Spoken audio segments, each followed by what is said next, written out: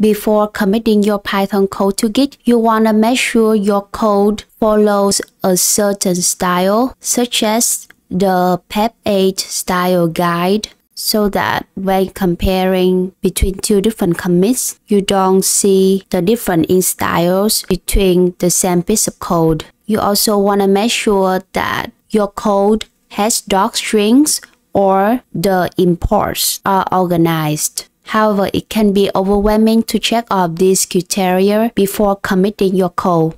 Wouldn't it be nice if you can automatically check and format your code every time you commit new code as shown in the screen? That is when pre-commit comes in handy. In this video, you will learn what pre-commit is and which plugins you can add to a pre-commit pipeline.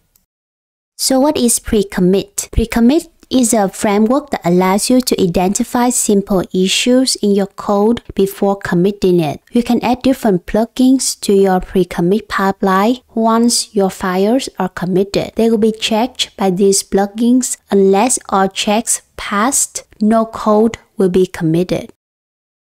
To install pre-commit, type pip install pre-commit. So that is a quick introduction about pre-commit. In the next video, you're gonna learn about some useful plugins to add to a pre-commit pipeline.